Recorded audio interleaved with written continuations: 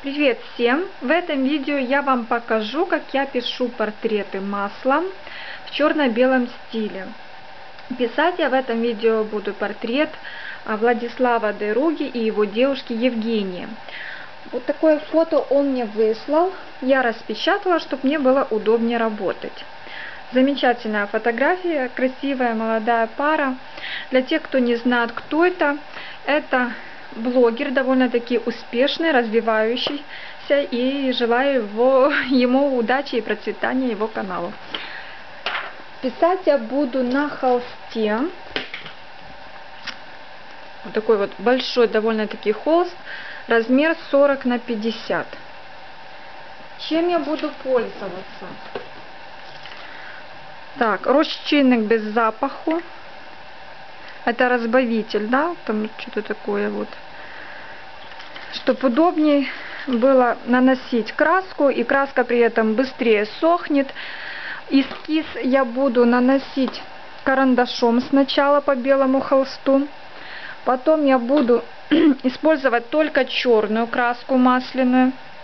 Вот у меня такие вот небольшие кисточки, довольно такие тоненькие, вот, чтобы легче было наносить эскиз.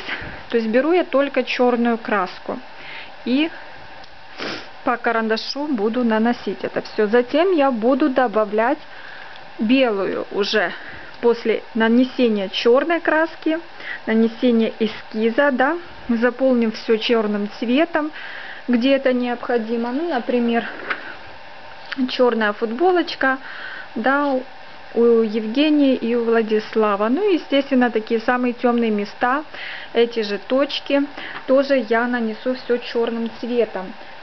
А после уже буду добавлять белую краску масляную. И где более светлые места, я буду разбавлять черную и белую и доводить до нужного нам серого цвета, либо серо-светлого, либо серо-темного. Вмешивать я буду краску на такой вот палитре, она мне уже такая вот почистить надо, но тем не менее можно работать. Сюда я добавляю этот росчинник, чтобы легче было работать и чтобы, скажем так, краска сильно а, не размазывалась, а быстрее она сохнет с этим разбавителем. Ну и, принципе, так как-то легче работать, и она хорошо чистит кисточки. Мне, по крайней мере, так удобнее работать. Итак, приступим. Сейчас поэтапно буду вам показывать, что из этого будет получаться.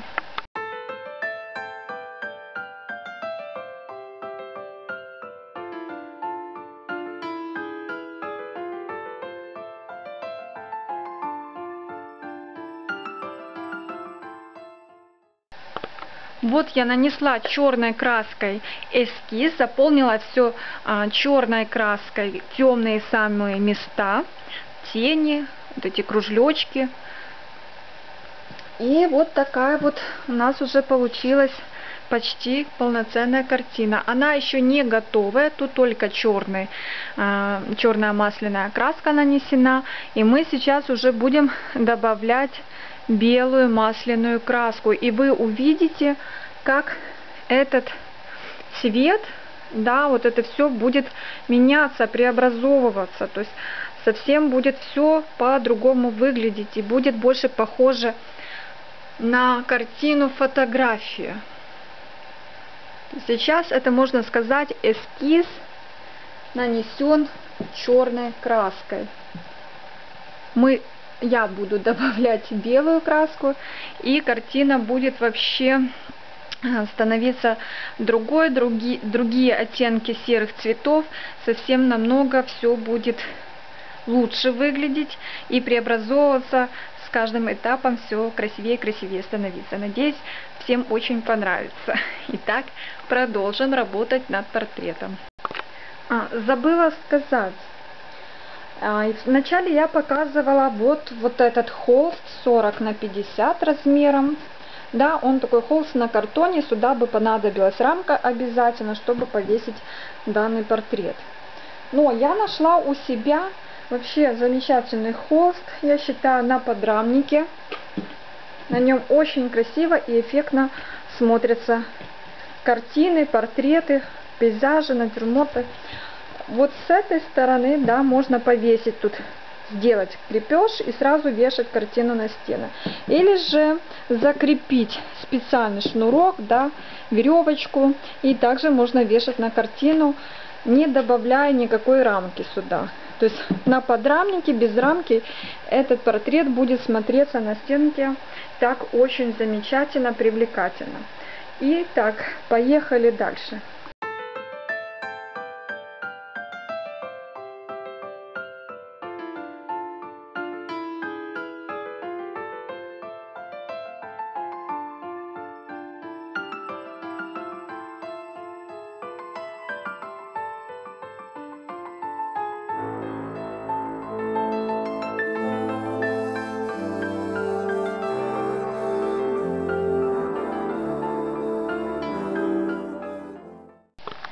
Итак, портрет готов.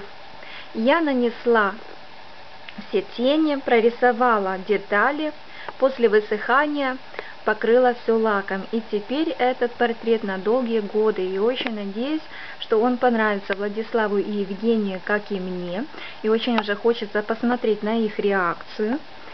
Сегодня портрет отправляется Владиславу. Итак, дорогие мои, Кому понравилось, ставьте лайки, подписывайтесь на мой канал. Буду рада новым подписчикам. Обращайтесь, если кто хочет от моего имени получить какую-то картину, шедевр или портрет. Владислав, тебе я желаю много подписчиков, хороших комментариев, да, меньше негатива, больше позитива. Сам понимаешь, что мир так сложен, да, что мир, как говорится, не без уродов. И многие э, люди, которые не достигли в этой жизни ничего, и в силу своего воспитания, своей ущербности какой-то, им хочется кому-то напакостить, написать что-то плохое. Так что поменьше тебе таких подписчиков, побольше тебе хороших подписчиков и процветания твоему каналу, тебе, Женечке, да, пусть удача вам сопутствует во всем. Также привет твоим родителям. Они у тебя очень хорошие, замечательные и э, растили замечательного сына. так что, э, надеюсь, вам портрет понравится. Напиши мне обязательно об этом, очень хочется знать твою реакцию. Все, дорогие мои, на этом все. Желаю всем удачи. С вами была Оксана Кученева. До новых встреч. Пока-пока.